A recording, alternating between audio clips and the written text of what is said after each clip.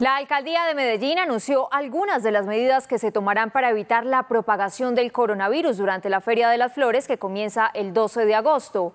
Los menores de 40 años de edad podrán asistir así no estén vacunados.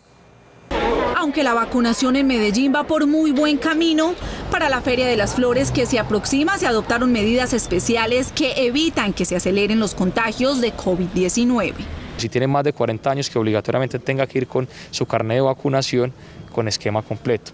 Si tiene 25 años, no le vamos a pedir el carnet de vacunación, pues porque todavía apenas estamos avanzando en ese proceso. Pero si ya tiene más de 40 años, ya es momento suficiente para que tenga el esquema completo. El secretario advirtió que sí se van a realizar eventos masivos, pero que estos tendrán aforo controlado.